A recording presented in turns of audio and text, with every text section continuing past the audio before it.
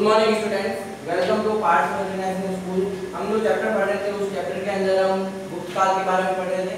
और गुप्त काल के अंदर हमने जैसे श्रीगुप्त घटोत्कच चंद्रगुप्त प्रथम समुद्रगुप्त, चंद्रगुप्त द्वितीय, कुमारगुप्त और स्कंदगुप्त के बारे में देखा था।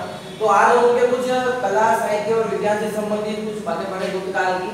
तो आज हमारा टॉपिक है गुप्त कला, साहित्य विज्ञान का विकास। यानी गुप्त काल के अंदर इनका विकास सबसे ज़्यादा माना जाता है। गुप्त काल को कला, साहित्य, विज्ञान का स्वर्ण काल।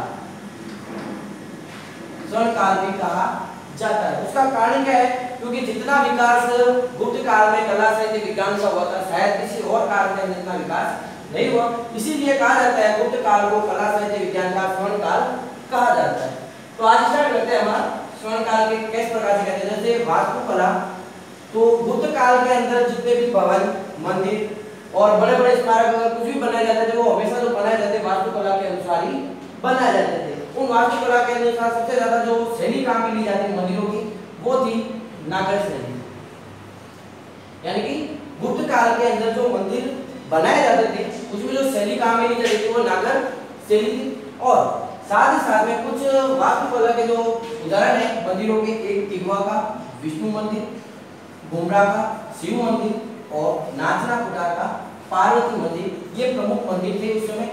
ऐसे झांसी के अंदर, ललितपुर के अंदर और भी बहुत सारे बड़े बड़े मंदिर थे।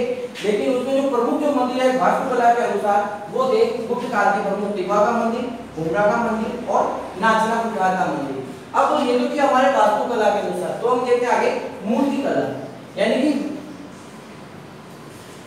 गुप्त काल के अंदर मूर्ति कला का भी खूब विकास हुआ था उस समय सारनाथ मथुरा, पाटलिपुत्र, ये जो जगह थी, उस समय मूर्ति कला के लिए बहुत महत्वपूर्ण थी। तो इसी के अंदर सबसे जो इम्पोर्टेंट मूर्ति है, वो एक मथुरा की विष्णु मंदिर, एरन व उदयगिरी की वरा मूर्ति। वरा मूर्ति जिसमें भगवान श्री विष्णु को उनके वरा अवतार के अंदर दर्शाया गया है, जिसके अंतर्गत वो पृथ्वी को अपने नथुने यानी नाक के ऊपर बताया गया फिर है चित्रकला। तो गुप्त काल में सबसे ज़्यादा सर्वोत्कृष्ट माना जाता है, वो माना जाता है चित्रकला। और चित्रकला के अंदर गुप्त काल के अंदर सबसे ज़्यादा जो चित्रकला प्रसिद्ध है वो एक अजंता व बाग की गुफाएँ अजंता और बाग की गुफाओं के अंदर जो चित्र मिले, वो गुप्त काल के सर्वोत्कृष्ट हैं, सबसे महत्वपूर्ण चित्र माने जाते हैं। उसका कारण क्या है कि अजंता की गुफा के अंदर जो भी चित्र मिले, आज तक वो एकदम से ढंग से बने हुए मिले। जैसे गुफा नंबर 16 यानी गुफा नंबर 16 के अंदर एक राजकुमारी का चित्र बनाया हुआ है गुफा के अंदर। उस राजकुमारी को इस प्रकार से बताया गया जैसे कोई व्रत व्यक्ति या कोई ऐसा व्यक्ति जो क्या है अभी मरने वाला हो। यानी कि मरने की स्थिति में उस प्रकार से चित्र को दर्शाया गया है। तो गुफा नंबर 16 के अंदर जो मन्नाथ राजकुमारी का जो चित्र है, वो भी बहुत प्रसिद्ध है। और फिर है गुफा नंबर 17 गुफा नंबर 17 के अंदर जो चित्र बने हुए वो आज भी मतलब सही ढंग से जैसे पूरे से ढंग से बने मिलते हैं। यानी एकदम सही मिले हैं, कोई काट छाट नहीं मिलती इसलिए गुफा नंबर 17 को चित्रशाला कहा जाता है। चित्रशाला कहने का कारण यह था कि जो भी उनके जो चित्र मिले अजंता की गुफाओं के अंदर, गुफा नंबर सत्रह जो है, सत्रह के अंदर चित्र मिला है, चित्रशाला मिली है। एक कक्ष के अंदर, जैसे एक बड़े से जगह के अंदर जो चित्र बने हुए वो एकदम सही ढंग से और पूरे बने हुए यानी कि उनका अभी तक विकास है जो एकदम सही लग रहा है।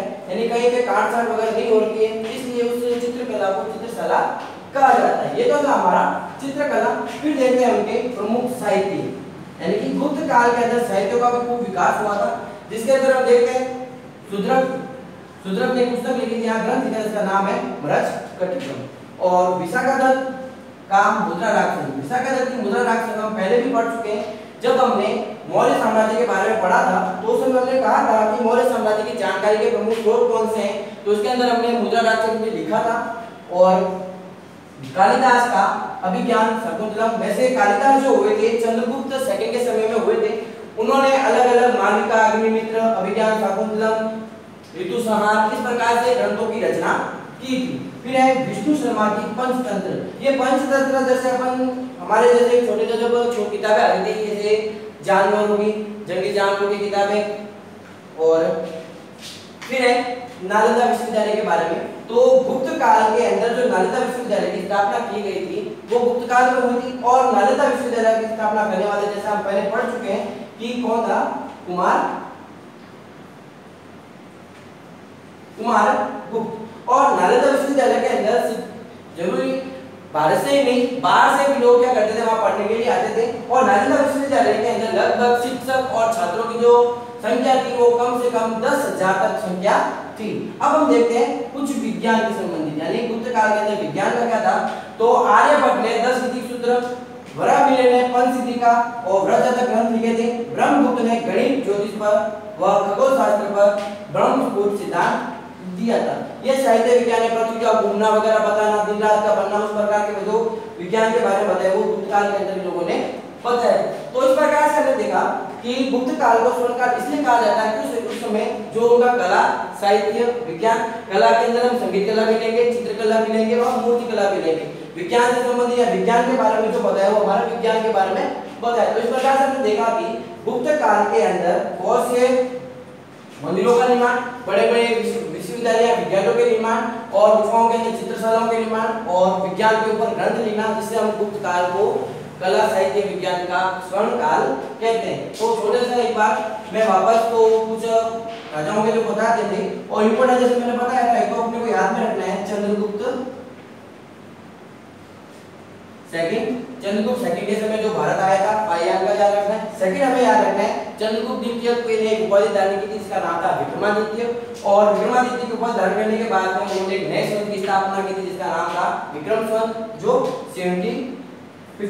70 57 57 ईस्वी के अंदर और फिर हमें एक चीज़ याद रखनी होगी, चंद्रगुप्त प्रथम के बारे में गुप्त काल यानी गुप्त संघ की स्थापना चंद्रगुप्त प्रथम ने की थी। और एक याद रखना है हमें, समुद्रगुप्त के बारे में। समुद्रगुप्त की सबसे इंपॉर्टेंट अगर कुछ क्वेश्चन है तो समुद्रगुप्त का एक तो उसकी प्रयाग प्रशस्ति। प्रयाग प्रशस्ति जो थी लिखने वाले थे हरिशैन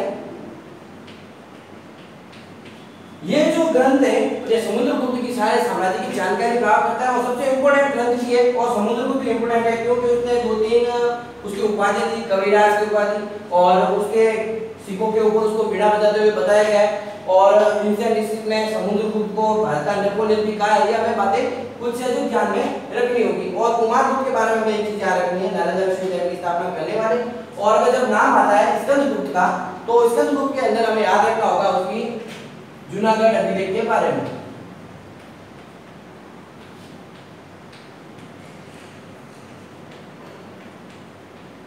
यहाँ एक बात और ध्यान में रखेंगे, ये जो जूनागढ़ अभिलेख था, वो का खुद का नहीं था। जूनागढ़ अभिलेख था रुद्र दमन का। रुद्र दमन ने अपने जूनागढ़ अभिलेख के अंदर बताया था, एक झील के बारे में जो है सुदर्शन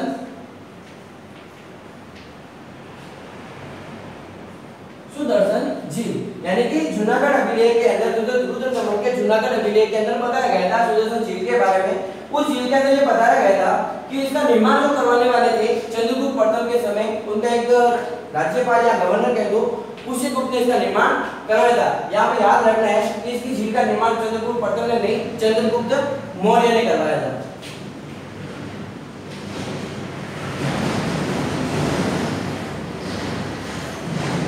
चंद्रगुप्त मौर्य के समय में इस झील का निर्माण हुआ था और चंद्रगुप्त मौर्य के बाद में, जो शासक बना था बिंदुसार बिंदुसार के बाद में अशोक जब शासक बनता है, अशोक ने भी क्या किया था, इस झील का वापस जीर्णोद्धार यानी कि मरम्मत का कार्य करवाया था।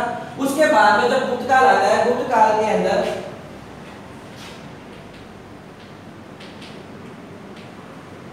स्कंदगुप्त ने स्कंदगुप्त ने क्या किया था, इस झील का वापस एक मरम्मत का कार्य करवाया था। इस प्रकार से हमारे गुप्त काल टॉपिक पूरा होता है।